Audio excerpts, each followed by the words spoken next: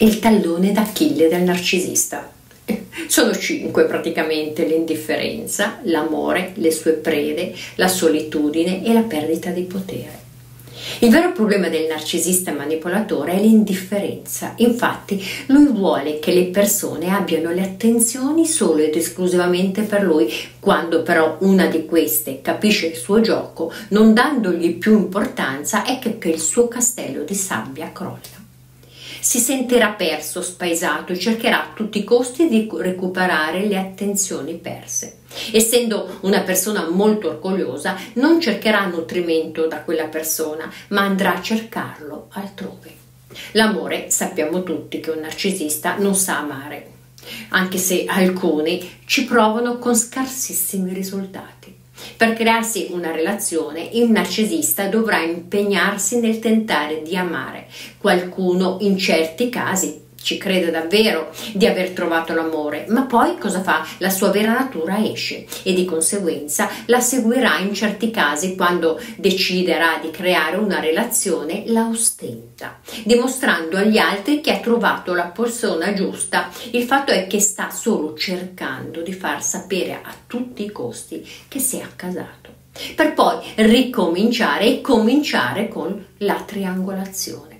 Le sue vittime, in effetti, è il suo vero tallone d'Achille, soprattutto quando questa è abbastanza astuta per tenerlo sotto controllo e non farsi manipolare. Essendo che si crede di essere più furbo degli altri, non accetta ciò e quando un narcisista fallisce cerca di recuperare terreno ma senza sforzarsi troppo e quando deve fare troppa fatica per ottenere quello che vuole, cosa fa? Cercherà altrove la solitudine per il narcisista è veramente una cosa pesante e si rende conto irrimediabilmente che le persone sono praticamente stanche di essere manipolate, se ne vanno e lui rimane isolato. Tutto ciò lo tormenta perché non è quello che vuole, è come togliergli il nutrimento. Lui si nutre delle attenzioni delle persone e se questo a un certo punto se ne vanno, non saprà più recuperare le attenzioni che gli servono.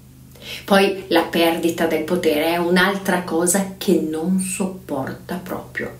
Perché? Perché è simile all'indifferenza. Essendo una persona che ama il prestigio, vuole avere molti soldi, ma soprattutto tanti elogi. Se una di queste cose manca, inizia a vacillare e a sentirsi impotente.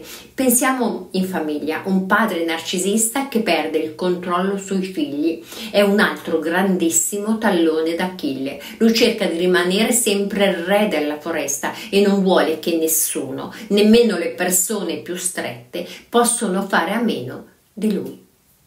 Non vuole in alcun modo che queste prendano decisioni senza essere confrontate con lui. Una volta non era un buon esempio quando una coppia si lasciava e quindi quando ci si trovava a vivere con un narcisista difficilmente si chiudeva il matrimonio. Oggi Fortunatamente le cose sono cambiate e anche se si prova amore o affetto per una persona del genere, anche se non è facile, si cerca di uscire da una relazione tossica. Le prede di un narciso manipolatore ad un certo punto devono necessariamente voltare pagina, essere di nuovo felici per prendersi in mano la propria vita. Di conseguenza, spero di esservi stata utile con questi cinque talloni d'Achille del manipolatore narciso patologico, maligno, come lo vogliamo chiamare, e se avete bisogno di aiuto contattatemi, al, contattatemi alla mia email paolafendi-gmail.com al prossimo video e un bacio a tutte.